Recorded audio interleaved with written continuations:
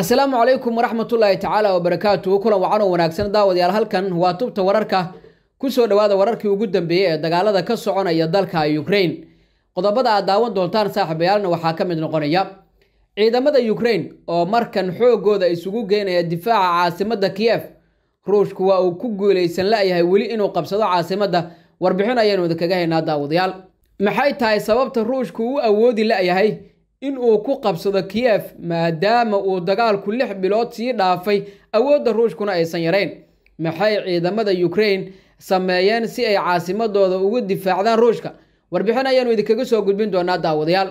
Khaladaadka militari ee uu ruushku uu sameeyey goobaha dagaalka markaasi ciidamadiisu ay ka sameeyeen oo sababtay in aysan ka adkaanin ukraine. Maxay yihiin khaladaadkaasi? Warbixintaynaan ayaad ku daawan doontaan saaxiibayaal. Qodobadaas iyo hadba wixii nugu soo kordha ayaan idiin soo gudbin doonaa daawadayaal. Balse haddii aad nagu cusub tahay oo markii kuugu horreysa aadna daawanayso fadlan jaranka sabskraibe noo saar sii sheergaray muuqaalka oo laag saar. Sidoo kalena gambareelka furo si ay mar walba kuu soo gaaraan xogaha aynu halkan soo gelin. Waad ku mahadsan tahay la socodkaaga iyo la jaanqaadkaaga. Intaba saaxib aynu ku bilowno markan laba jenaraal oo u xil saaran ilaalinta markaasi iyo difaacidda caasimada kiyef ayaa waxa ay sheegeen in ciidamadoodu ay dadaal dheeraada geliyeen sidii ciidanka ruushka uga difaaci lahaayeen caasimadda jenaraaladan ayaa sidoo kale sharaxaad ka bixiyey sababaha ay u aaminsan yihiin in caasimaddu ay muhiim ugu tahay ka hortagga ciidamada ruushka. Kiyef ayaa noqotay meesha ugu daran ee dagaalku ka dhacay sidoo kale waxaa markaasi saameeyey hubka wax gumaada ee ruushka. Laakiin caasimadda kiyef iyo agaarkeeda badanaa weli ma gaarin hubka ruushku qaar ka mid a magaalooyinka ukraine ayaa la duqeeyey waxaana jira khasaare aada u fara badan. Shacab badan ayaa isaga qaxay caasimadda kiyef bilowgii hore ee dagaalkaba iyo maalmihii ugu dambeeyey inkastoo ay weli jiraan dad ku haray halkaasi. Dadku waxay wajahayaan dhibaatooyin fara badan oo xagga bani aadanimada ahi. Ciidamada ammaanka ee kiyef ayaa sheegay in ukraine ay si adag markaasi u dagaalamayso balse waxay qireen in caasimaddu ay halis ugu jirto in lagu garaaco gantaalo si kastaba ha ahaatee qeybta sare ee magaalada waa mid ka duwan deegaanada kale ee dalkaasi ee dagaaladu xooggan ay ka socdaan ayuu yidhi genaraal andre karashjanko magaalada weyn waxaa kala qaybiya webiyo. Way adag tahay in la wada ilaaliyo iyadoo la tixgelinayo inay tahay magaalo aada weyn ayuu yidhi laakiin dhanka kale faa'iido ayaa inoogu jirta webiyada iyo buundooyinka waxayna markaasi ku yaalaan afaafka hore ee magaalada. Ciidamadaynu waxay sugayaan amniga ayuu yidhi. Duleedka kiyef waxaa ku yaalla webiyo yaryar oo u badan oo ku qulqula webiga dinibro waxaana markaasi jira dhul biyaha ay fadhiistaan oo fara badan taas oo macnaheedu yahay in aagga uusan markaasi ku habboonayn dhaqdhaqaaqo ciidan oo ballaaran. Genaraal karasjanko ayaa waxa uu sidoo kale ah ku-xigeenka duqa magaalada oo ku labisnaa dareyska militariga maadaama madaxweynihiisu valadimir putin uu xidhay markii uu la hadlayay dadkiisa isaga oo jiitay ama soo jiitay xulafadiisa islamarkaana ka caraysiiyey cadowgiisa. Faa-iido kale guud ahaan kiyef waa magaalo warshadeed halkaas oo warshadaha markaasi iyo garaashyada nuucan oo kale ah ay noqdeen goobo muhiim ah oo lagu soo sameeyey shubka bacaha ciidda iyo sidoo kale si looga hortago taangiyada dagaalka. Karashjanko iyo sidoo kale nayazif ayaa daawanaya shaashad weyn oo ay adeegsadaan si ay markaasi ula socdaan dhaqdhaqaaqa ciidamada ruushka ee magaalada kiyef waxay ku macneeyeen in ay weerareen oo ay ka hortageen laba weerar oo waaweyn mid ka dhacay bariga iyo mid kale oo laga geystay waqooyi galbeed oo ay ku jiraan kolonyo ay la socdeen maraakiibta dagaalka ee ruushka oo lixdan iyo afar kilomitir ahi.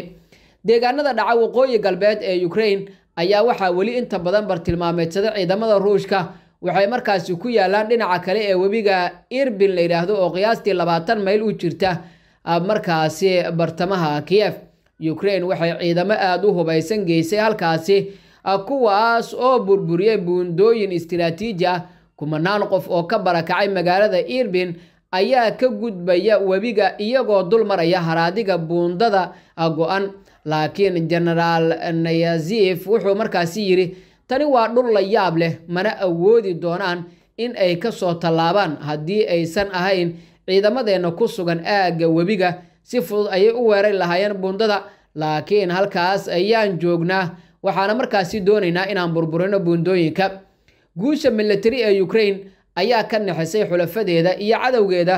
Madaxweynaha iyo taliyayaashiisa ayaa aada ugu riyaaqay waxqabadka ciidankooda iyo sidoo kale kubnaan mutadawiciin ahi haddaba weli ciidamada ruushka ma aysan qabsanin caasimada kiyef iyagoona la og yahay awoodda markaasi ay leeyihiin iyo sida ciidamadoodu ay ugu soo diyaargaroobeen dagaalka ka dhanka ah ukraine dhinaca kale ruushku waxa uu leeyahay mid ka mid a militariga ugu awoodda badan caalamka balse arrintaasi kama muuqato dagaalka uu ku qaaday waddanka ukraine.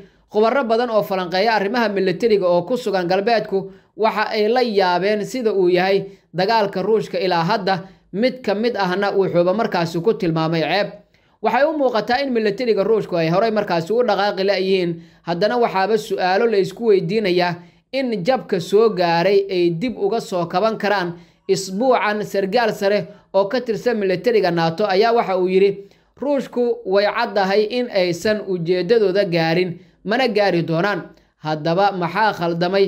Waxaa markaasi la hadalnay saraakiil sarsare oo ka tirsan khubarada militariga ee reer galbeedka si ay markaasi u sharaxaan khaladaadka ay sameeyeen ciidamada ruushka khaladkii ugu horreeyey ee ruushka waxa uu ahaa in ay dhayalsadeen awoodda iyo sidoo kale iska caabinta ay tabarta u leeyihiin ciidamada ukraine ee iyaga ka yar tiro ahaan iyo taya ahaan labadaba. Ruushka militarigiisu waxaa sanad kasta markaasi ku baxda miisaaniyad lacageed oo ka badan lixdan bilyan oo dollar halka ukraine markaasi militarigeeda ay ku baxdo miisaaniyad dhan afar bilyan oo dollar oo keliya sidaasoo ay tahayna ruushka iyo sidoo kale dalal kale oo badanba waxaad moodaa in ay ka badbadiyeen inta ay gaarsiisan tahay awoodda military ee moscow. Madaxweyne valadimir putin waxa uu jecel yahay in uu markaasi iscasriyeeyo militarigiisana uu sare u qaado uuna markaasi buunbuuniyo qalabkooda. Waxaana markaasi laga yaabaa in isaga qudhiisu uu u malaynayay waxa aan xaqiiqo ahayn sarkaal sare oo ka tirsan militariga britain ayaa waxa uu sheegay in lacagta ugu badan ee loo qoondeeyo maalgelinta militariga ruushka ay tahay mid xoogga lagu saaro horumarinta hubka nucleerka iyo tijaabooyinkiisa taasoo ay ka mid tahay saameynta gantaalada riddada dheer.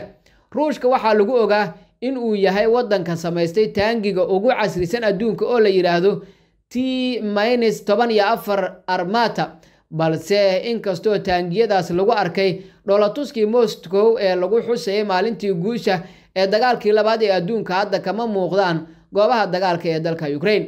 Inta badan waxa ay ruushku markaasi la soo shir tageen waa taangiyo hore oo nuucoodu yahay t toddobaatan iyo labo gawaarida gaashaaman ee askarta qaada madaafiicda artileriga iyo sidoo kale gantaalo markii uu dagaal ku bilaabanayay ruushka waxa uu markaasi si cad ugu gacan seyray dhinaca hawada ayagoo isticmaalaya diyaaradaha dagaalka ayna markaasi aada ugu soo dhowaadeen xadka maadaama ay xoog markaasi bateen awoodda ciidamada cirka ee ukraine. Inta badan dadka falanqeeya arrimaha militariga waxay u malaynayeen in ciidanka xoogga ku galay ukraine ay si deg dega uga faa'iideysan doonaan ku gacan sayreyntooda markaasi dhinaca hawada balse taasi ma dhicin. Guud ahaana daawadayaal warkii aad kala socoteen janalka tubta wararka waa naga intaa haddii aad markii kugu horeysana daawata falan janalka sabscribe noo saar sii sheergaray muuqaalka oo laag sidoo kalena gambaleelka furo si ay mar walba kuu soo gaaraan. Xogaha aynu halkan soo gelino waadna ku mahadsan tahay la socodkaaga iyo la jaanqaadkaaga. Intaba intaan warkankiisa kale aan ku kulmi doonana saaxiibayaal sida ayuu nabadgelyo